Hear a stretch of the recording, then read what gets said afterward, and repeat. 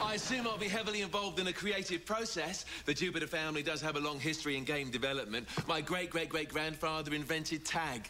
Used to touch strangers and run away. I love the enthusiasm, but don't worry. You're gonna be working with our top game developer, Miss Dempsey. Oh, there she is now. Oh, Miss Dempsey! Fellas, fellas, fellas, fellas. That's not Miss Dempsey. That's her assistant, Reba. That's Miss Dempsey. this whole company was built on her tiny little shoulders. CZ top game developer. That's crazy.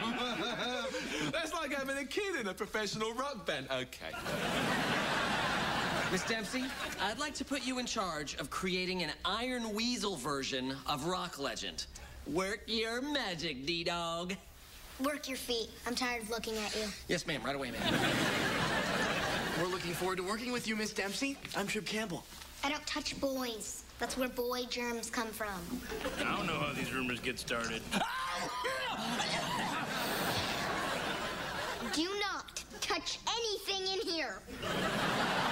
So, uh, Miss Dempsey, what should we do to start doing? No time for chit chat. Time is money, money is power, and power is why I wake up in the morning. Read that juice box.